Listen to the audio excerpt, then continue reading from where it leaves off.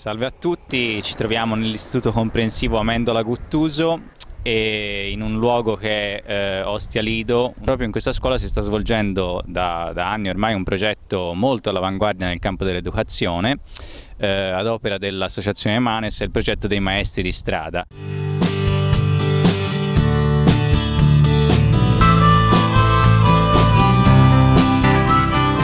Noi abbiamo un protocollo d'intesa con la scuola Mendola Guttuso e ci vengono segnalati dei, dei ragazzi che diciamo sono in procinto oppure sono in abbandono scolastico, nonché anche dei ragazzi che hanno delle problematiche psicologiche oppure sono stati pluribocciati. Noi cerchiamo insieme a loro, osservandoli, ascoltandoli, di fare anche un po' da tramite con le istituzioni stesse. Il progetto Maestri di strada dura un anno in un anno ti faccio prendere la terza media e quindi questo piccolo traguardo ci si arriva. Però non è quello il nostro obiettivo.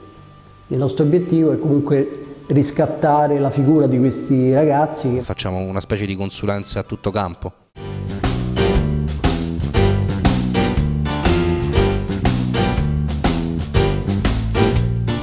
Noi comunque ci relazioniamo con tutti i genitori ammesso che non concesso che ci siano, e nello stesso tempo andiamo a casa, spesso e volentieri. Abbiamo una ragazza che diciamo è latitante, non c'è problema che sia con i genitori, col padre, con la madre, con le sorelle. È giusto per capire perché non vieni, è successo qualche cosa, qualche problema. Li mettiamo in contatto con le istituzioni, c'è bisogno di, di, di andare all'ASL, c'è bisogno di andare ai servizi sociali e quindi diventano storie che devi seguire eh, in più anni e non poter continuare a volte ti mette in difficoltà. Te stai facendo la tua piccola parte per i ragazzi che conosci, che incontri e quindi presa la terza media la tua piccola parte tecnica è finita, però poi inizia dopo due anni che, che uno sta qua il fatto che la gente ti saluta per strada, ti conoscono tutti, ti accettano, vengono a parlare da te quando hanno un problema.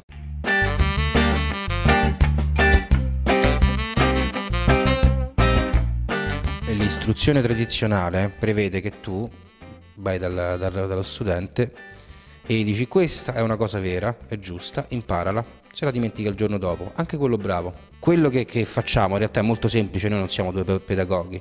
Se ti devo insegnare qualcosa ti faccio fare qualcosa di pratico associato a quella cosa. Disegni il teorema di Pitagora, fai il balletto sui numeri relativi, ce ne sono mille di trucchi, alcuni li conoscevamo già e altri ce li inventiamo. Un ragazzo deve fare qualcosa che si adatta a come è fatto lui. Di solito è molto meglio se sia pratica più che astratta. Chi siamo noi innanzitutto per loro? Se sono magari un amico, posso essere il fratello maggiore, il padre, che magari qualcuno non ce l'ha. Quindi capire in quel momento il bisogno suo proprio interiore, perché effettivamente solo così poi tu li agganci perché non è certo riportandoli in un'aula, quindi interessa. Diciamo che il vero optional è la classe, perché poi noi stiamo sempre fuori. Quando vedi che si tirano oggetti contundenti, allora quello è il momento che devi uscire. Fanno tutte queste cose qui perché chiaramente hanno bisogno di attenzione e noi questa gliela diamo a tutti, a tutti gli effetti.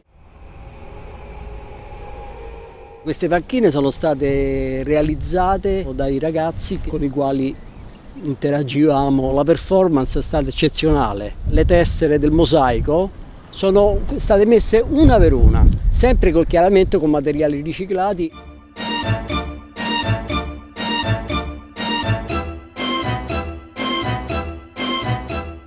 Stiamo tentando di traccia tracciare la nostra strada per la scuola nel futuro, perché qui c'è bisogno, quindi eh, puoi tentare qualcosa di nuovo. Nella scuola normale ti dicono no, ma noi sappiamo cosa fare, non abbiamo bisogno di voi. A loro non gliene importa niente di studiare. Non è vero, te lo vengono a chiedere, ma quando dicono loro, e uno pian piano facendo questo lavoro si rende conto delle cose che li stimolano. L'aula la puliscono loro, ma questa non è, non è stata una nostra idea. Uno dei, della seconda settimana loro hanno preso e hanno pulito l'aula. Stare addosso è una cosa faticosa, è complicata, va fatto quando, solo quando ci sono dei problemi seri. Il problema non è essere buoni, non è che non rimproveriamo i ragazzi, ti rimprovero quando c'è un buon motivo.